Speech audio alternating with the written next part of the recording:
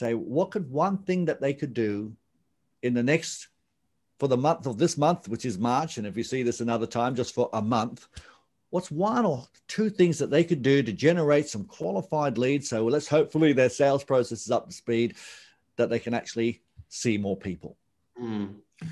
I think the easiest thing to do, Steve, right now is I would get your diary out and I'd structure some structured time to either talk to people individually.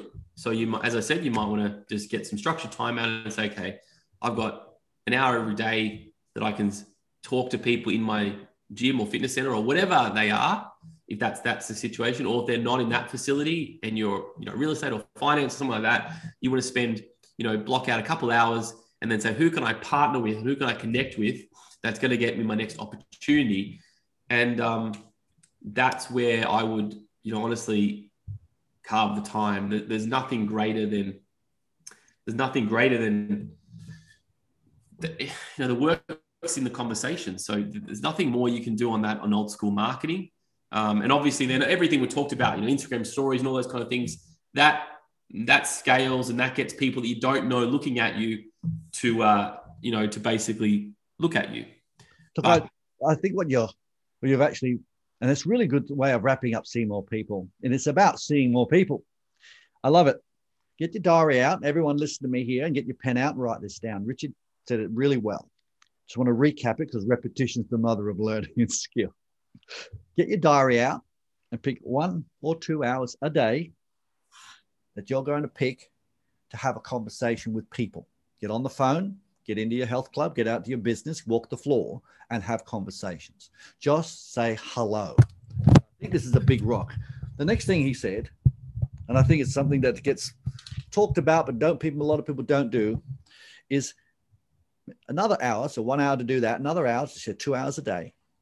Sit down and say, who can I connect with to partner with? Who has my clients? Who can I create a relationship where I can help them and they can help me? As an owner of a business and, and uh, a driver, your success as an entrepreneur and a successful sales professional or business owner will be around the power of your networks.